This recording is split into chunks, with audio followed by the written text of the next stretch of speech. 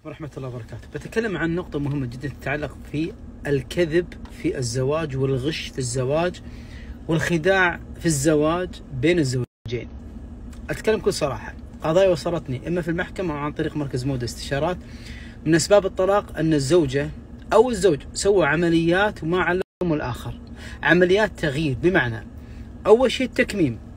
التكميم واحد بيضعف سوى عملية تكميم بعد التكميم الترهلات والأمور والعمليات والشق وكذا الزوج لازم يكون عنده علم والزوجه لازم تعرف إنك أنت مسوي تكميم. ما هو عيب ما هو عيب إنسان يكمم بالعكس إنسان يحافظ على صحته أمر طيب. لكن لازم تخبر الزوجه ولازم هي تقول لك. مسوي عملية بخشمها مسوي عملية مدري إيش تعلم. الزوج لا ينصدم. شاف بطاقة مدنية هذا من هي هذه مرتك أو صورة لها قديم انصدم بعد الزواج.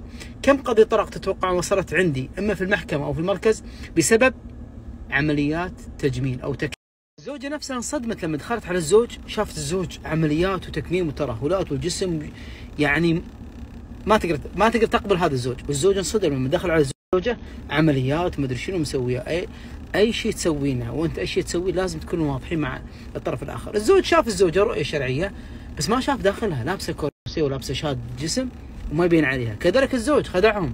ما قالوا من أنا مسوي عملية مو عيب. بس للعلم بنتنا فيها حرق ولا فيها يعني آآ آآ مسوي عملية ولا مسوي قص ولا مسوي كذا ما هو عيب. بالعكس واحد يقول أنا قابلها بالشيء اللي فيه. بس عشان ما يكون في خداع وللعلم يست...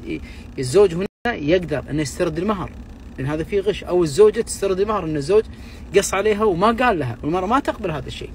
فأرجو حتى ما يعني توني طالب من عقد زواج كان توافق فيما بينهم لكن قلت لهم أهم شيء الوضوح والصراحة فيما بين الزوجين وما هو عيب. خليك واضح. الأول شرط اخر النور كما يقولون.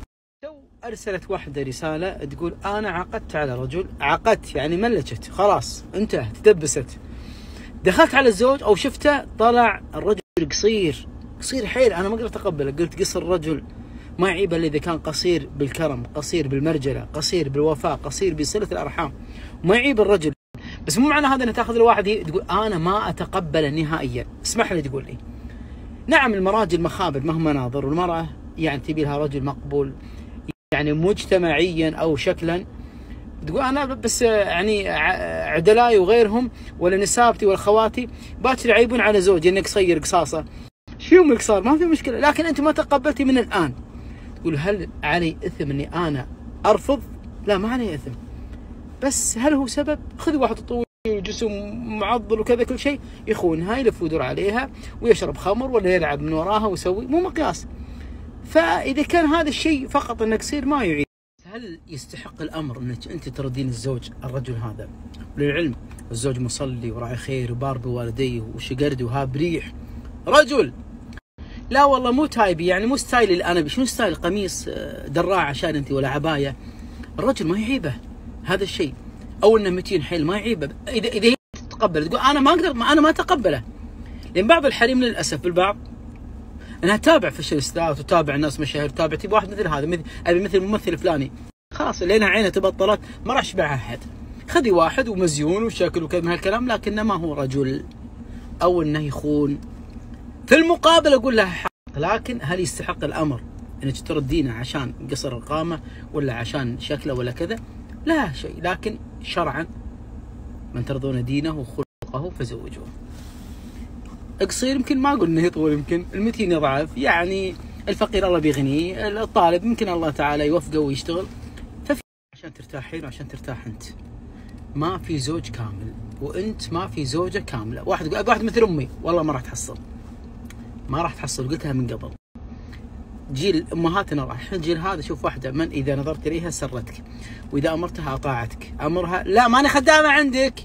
لا أنت ليش متزوج واحد من ربع؟ أنت؟ هذه ما لازم تطيعك. لا تقول ما أنا خدام ما قلت أنا تصيري خدامة بس تطيعين؟ خلاص خلاص. بجيب واحدة من إحدى الدول العربيه من المغرب ولا من سوريا ولا من الأردن ولا من أي واحدة بتزوج زواج شرعي هي تخدمني. وتقول لي لبي سعدي. أما لا أنا ما أخدمك. سمعت الشيخ فلان يقول لا المرأة ما هي واجب انها تخدمه. لا تخدمين الزوج. لا تخدمينه انت مو فاهمة الكلام عدل أو فاهمة فاهمة الفتوى عدل. أنا ما أخدمها اهلك لا اهلك غير. صح ما تخدمينها. لكن المرأة اللي تحب زوجها وبنت الأصول تحب تحب أهلي أمي إذا أمرتها تقول لبيه يا عمتي يا خالتي عادي.